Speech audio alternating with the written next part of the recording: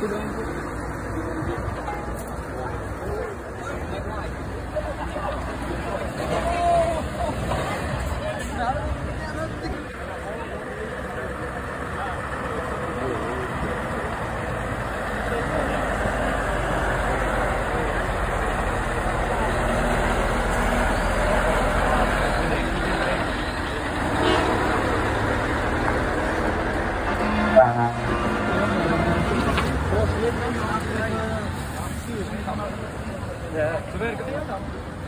Inderdaad, hij hoort dat ik hoor.